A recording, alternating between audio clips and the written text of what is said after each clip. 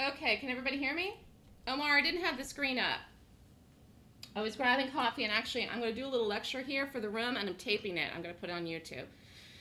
How many of you, and be honest with me, I'm talking to the room people, not the trials here, how many of you didn't do this today?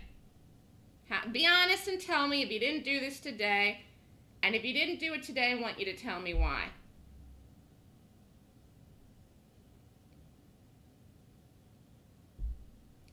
I, John, you did not. You were the one that wanted me to look at this. Why didn't you do it? Came and did, did it. I just want to hear from the people that didn't do it. And if you didn't do it, I want to know why. I, John, it was your idea for me to look at this. Your idea for me to rate this. You were the one that wanted to do it. Look at look at how this is moving so fast. Look at that. You got scared by me because I said it was going to be volatile, but it rated good and then it swooshed. And then I ended up doing it. Big Fudge didn't do it. He, the stop he thought was too large. All right, well, at least you're being honest. It's just two people didn't do it. I wasn't 100% sure that I was going to do it because of the fact that it was going to be very volatile. But when it rated well, I said, let's watch it. And then when it opened and swooshed, I said, we're going to do it. I mean, this should have been the reason that everybody should have done it. And that's why I'm taking a survey. I'm taking a survey to see who didn't do it, regardless of whatever I said in the morning, which I said it's going to be very volatile. And I was absolutely right. But the volatility worked in our favor. It was, it was, it went down. It swooshed, which we want to see. So when this did it, everyone should have been all in, regardless of the size of the stop, regardless of the fact that I didn't even know if this would even work but we got the confirmation when it opened. So there's there's two things here I want to talk about. If swooshes and sets up, we should always do it. Yes. Are you asking me a question or are you telling me that's what you feel, disciplined Dave? The answer is yes. Every time it sets up that you get a swoosh, you should do it. Even if you're not sure before the before the gap, you should do it when it does. Oh, that's what you feel, and you would be right. That's how I feel. You can tell the way I speak. That's absolutely true. The way that I speak, I, I, I didn't know if I wanted to do this today. Why? I said it in the morning in the room. Because the volatility, I knew this would be volatile today. I knew this would be volatile and I wasn't sure it, which direction. Then I rated it and I was surprised. I was shocked that it rated 20 points. I couldn't believe it, but it did. And like I said, I highly doubt a lot of day traders probably shorted this today. But I have a system for a reason, and I got to follow it. And guess what else? Nothing else rated good today. Nat was 17 points, even though it worked. MCD was 19 points. Remember, at 19, 50-50 chance of working or failing, MCD would work, but it really didn't meet the meet the rating, which was 20. So when something tells you that it rates well, and then you get the confirmation in the setup, then then then you do it regardless of the way that I what I thought was going to happen, which was that it was going to be volatile, and I wasn't wrong. I was right, except for the volatility played in our direction. If you didn't do it, it's okay. But I want I want some of you to learn something from this in here, not just the people that didn't do it, but everyone. That's not what the, I'm going to lecture about here in a minute. What I'm going to lecture is which which actually looks like a couple people were aren't here today. Specifically, Steelheart. Steelheart isn't in the room today. I don't know if he if he's doing something, he's an attorney. I'm going to email him afterwards. But BMY did not work on Friday. BMY didn't work. If you did the first trade, you lost. If you didn't retake it later in the afternoon, you didn't make any money on it. It did go, it did work. It ended up working on the day the gap worked. It fell the way I said it would. But if you did the first trade and BMY on Friday, you lost. If you didn't trade today, didn't come into the room, or didn't do this because of Friday, then that's what I'm going to lecture about. And the lecture is that you got to be here and you got to show up and you got to be here every day and you got to do the same thing every day according to the reading and the setups if you want to do well. And that is something that some of you are doing and it's something that some of you are not. And so the bottom line is when you decide to do this and you want to do this, you can't pick and choose the days that you come into the room based on what happened the previous day unless unless you have an appointment. You have an appointment, you have to do something, you have to go to the doctor, that's different. But if you are going to commit to trading, then you got to be here Monday, Tuesday, Wednesday, Thursday, Friday. You got to be here. You got to do it. You got to be here. You got to do it when I call it, when I give it, when I do it. You got to do it with me, and you got to do it when the gap rates per the system, and you got to do it when it sets up. And not only that, you have to risk the same amount of money, which some of you don't do. Some of you will not have a good day, then the next day you will risk more, which is wrong. Some people will not have a good day, and then the next day you will risk less, and that will work and be huge, and that is wrong. You have to get up and you have to do the same thing. The one thing that many, many people say uh, oh, you have to trade, you know, like a robot. You have to, that's why you have to be disciplined. You have to trade like a robot. None of us are robots. That's impossible. That's ridiculous. People that teach like that and say that are insane, quite frankly, as far as I'm concerned. I'm not a robot. That person that's saying that isn't a robot, and neither are you. And no computer has the intuition that I do to see something a lifetime to call it, and no computer ever will. So no automated system is ever better than me at what I do. But I'm telling you, and you, once you get to know it, but I'm telling you, the, the thing that you do need to be exact about and the same every day is doing it when it rates and doing it when it sets up. You don't have to be a robot trading without emotions because that's impossible because you're a human being that exists on this planet. You have a heart and you have a mind and you have emotions. So stop pretending you don't. But you will risk the close to the same amount of money every day. That's your plan of action. You will do the gap when I call it. You will do the gap when it rates well. When it doesn't, you won't. You will be here every day. You that's that's it. How hard can that be? That doesn't mean you, you're an emotionless person, but that's that's the that's the that's the discipline that's required. But it's not discipline where you trade without emotion because that's idiotic. It's crazy. It doesn't make any sense. It doesn't even work. So don't even try it. And people try their whole lives to say, well, I'm not doing it because it's my fault because I I, I, I have too many emotions. Wrong. You, you, of course you do. Look, this is still going. This is hilarious. In fact, it held 50. Here, you can do this again if you want. It's not even a kamikaze anymore. I called a kamikaze back here. I said 56.25. Did anyone do it? If you did it, if you did it, you could have been out. It, it broke 55. I missed that because I walked away. Look at this now. You could do this again. Um, yeah, we'll go over the entry in this again, Susanna. But the lecture I'm trying to make here is that it's it's not about trading without emotions. It's just about trading with the consistency of your plan of action with what you're doing. Your plan of action every day should be consistent with the money that you risk, and that you be here every day, and then you take the trades when they rate over 20. That's what that ha- that's what has to be consistent. There are days in my voice where I definitely like something more than others, and you can see that, and you can tell it, and you can feel it, and you can hear it. This today, I felt would be very wild to trade. I wasn't wrong. It worked in our favor, though. I'm not against wildness if it works in our favor. But I didn't know that until it opened. But when it opened and swooshed, there was no reason that everybody shouldn't have done it. Now, uh, it looks like everybody did, but two people. But some people didn't show up this morning because Mondays typically are slow. I get that because this didn't work on Friday, right? It did work. It ended up working for the reason I discussed, which we lectured in the morning, and I said it's this isn't going to get bought today by institutions. Either it flatlines or it breaks and goes and it gets sold off. And that is what happened. It did break and go and got sold off, and it never went anywhere up. But it took a long time. I hate when that happens myself. I don't like it, but sometimes it does. But anyways, if you if you if you make a decision based on a previous day about something that happened in the past about what you're doing this week, then you miss out on something. Whether it means you don't show up, or you risk more, you risk less, or do something different. And that is where some of you have to get it right in 2017. You're either you're either in or you're out. And if you're in, it doesn't mean trying to work through you know the emotions that you have because you have emotions. It means deciding that you're you're going to just do what you say. You have a system I taught you. You don't have to think. You don't have to think. I give you the points. Then I tell you where to take the trade. You don't even have to think. You have to think about one thing, which is figuring out your share size, which some of you have gotten are getting better at. Some of you were good at, it, some of you were struggling with that last year, but I think some of you are definitely getting better at it. And and that's good. That's a good thing. It's a great thing.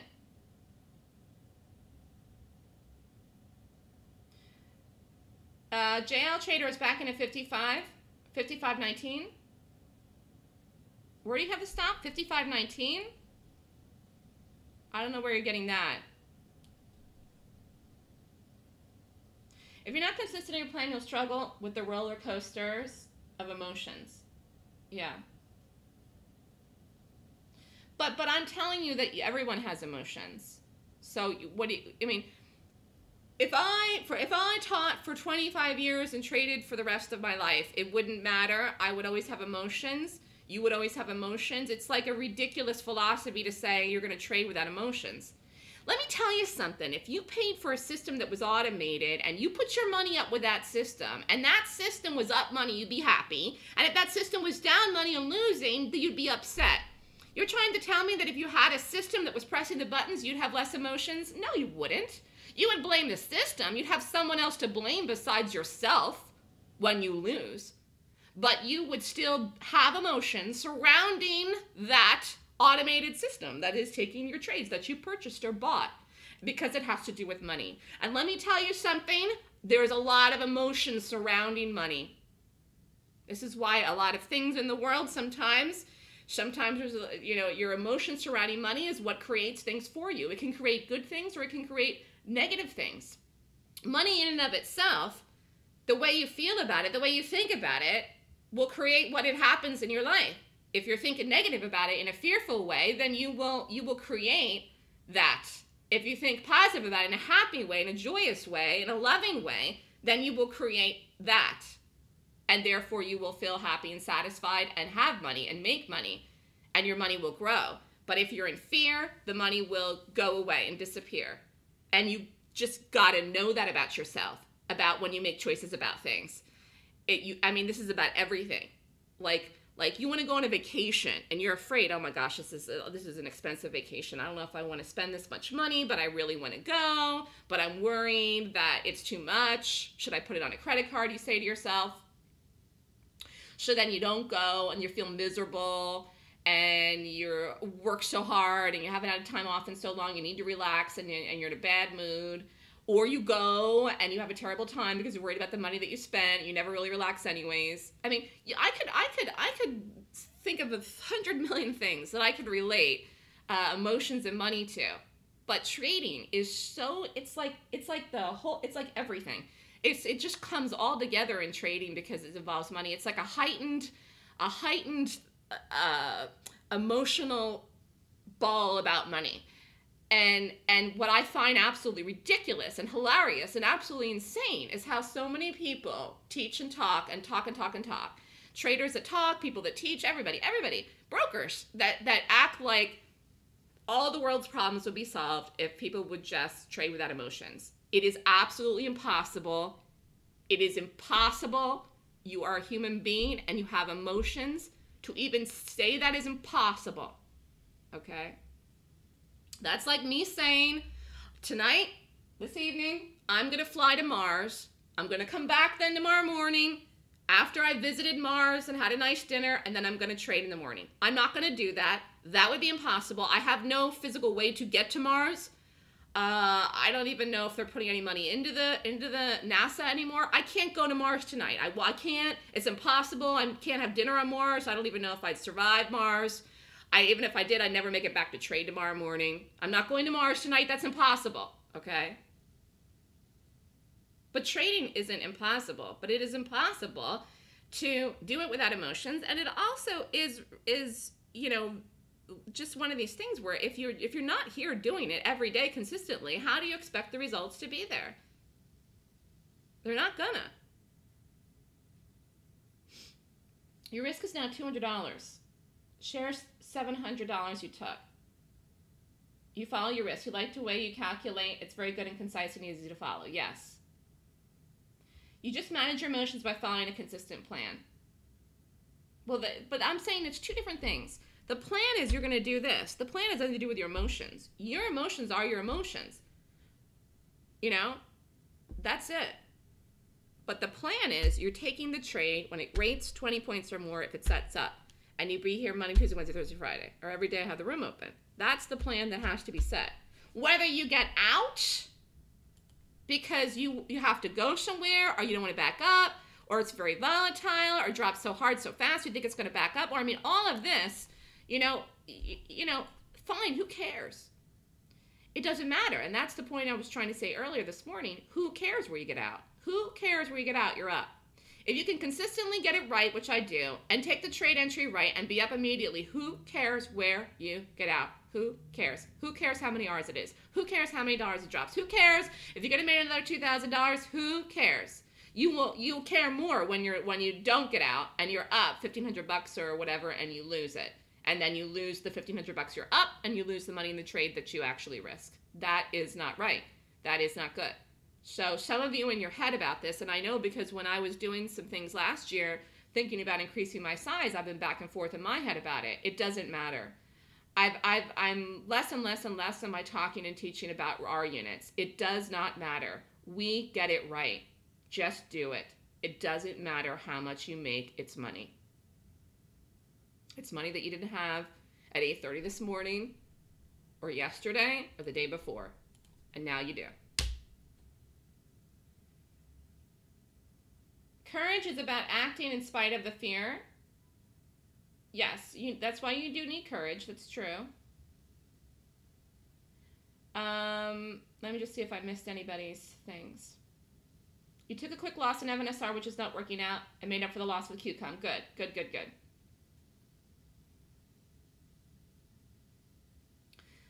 Anyways, uh, you know, there are days where some of you have conviction and stuff that I don't. Like I didn't, I didn't like this. Look it; it's working here now. Very late.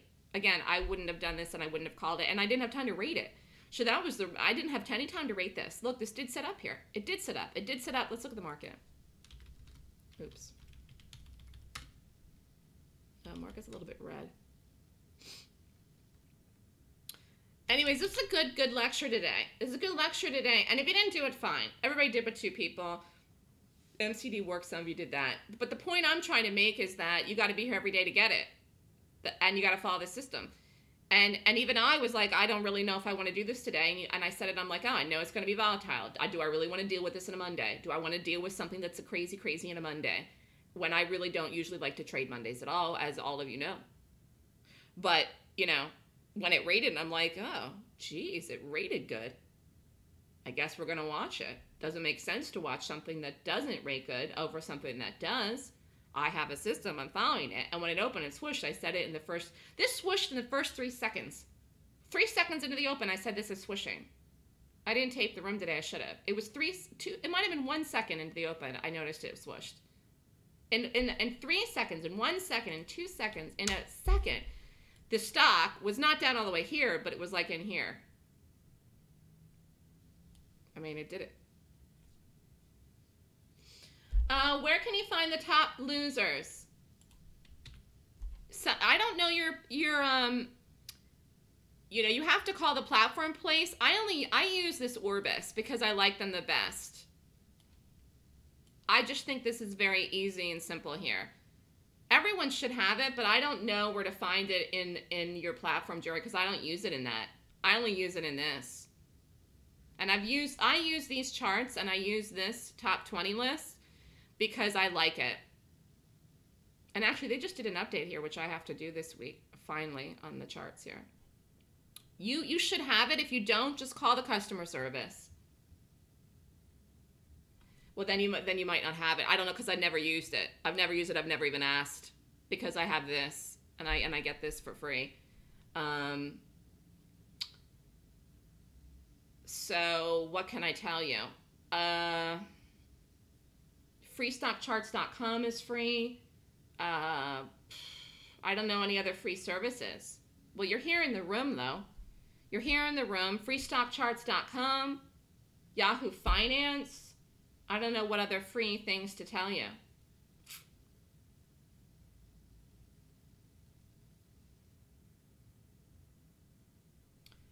Um, Koala Bear is writing something here. Denise Shull?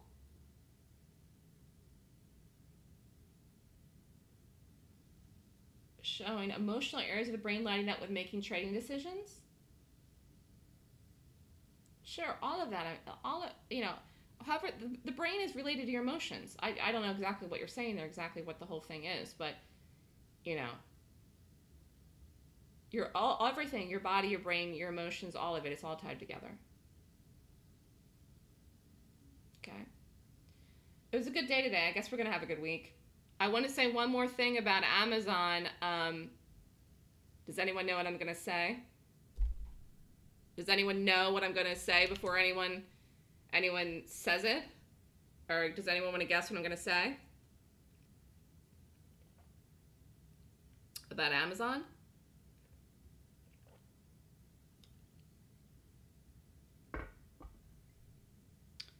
Hello, am I talking to myself? Does anyone know what I'm going to say about Amazon?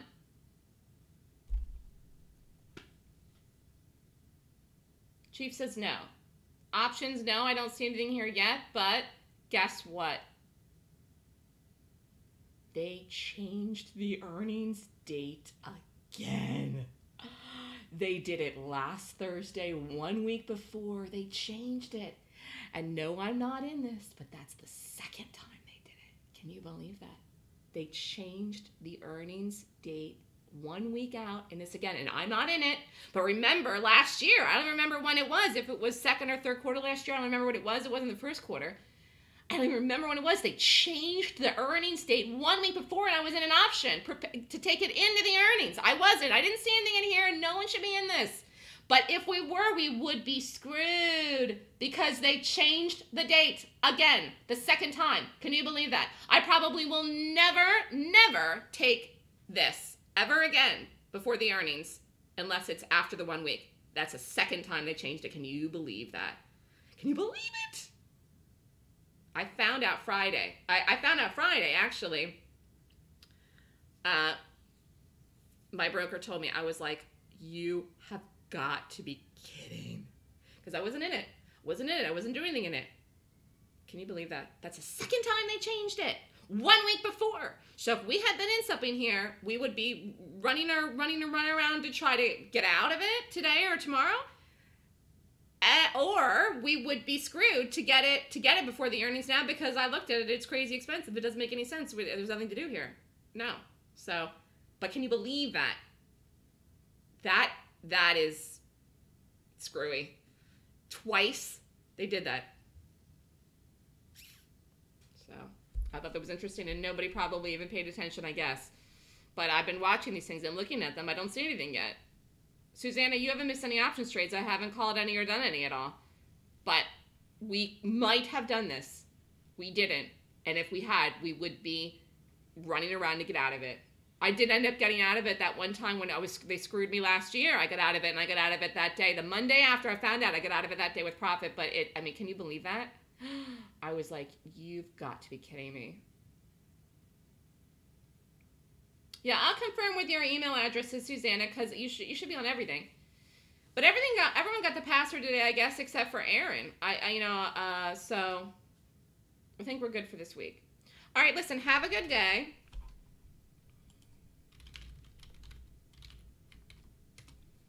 Everything is looks great in our lives. Oops.